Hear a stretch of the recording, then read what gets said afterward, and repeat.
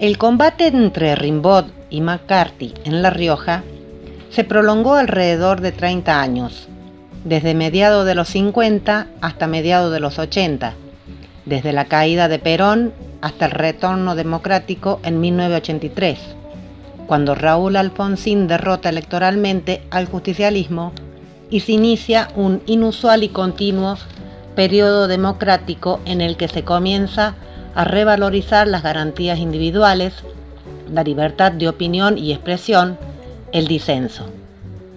Asimismo, la caída del muro de Berlín en 1989 es el principio del fin del mundo bipolar, de dos sistemas supuestamente contrapuestos, el capitalismo de Estados Unidos y el comunismo de la Unión Soviética, potencias hegemónicas luego de la Segunda Guerra Mundial.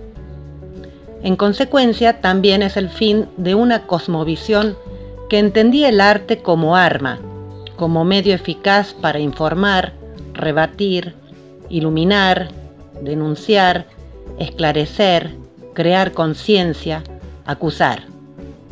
Y se tornan anacrónicos y vacíos de significado conceptos que habían dado sentido y fundamento a tantas acciones y actitudes políticas.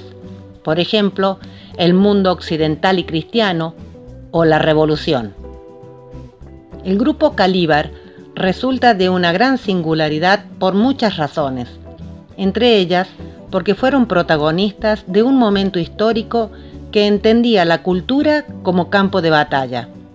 En la actualidad, el arte ha sido contaminado o invadido por la frivolidad, la banalidad, y en gran parte ha perdido su potencialidad revulsiva.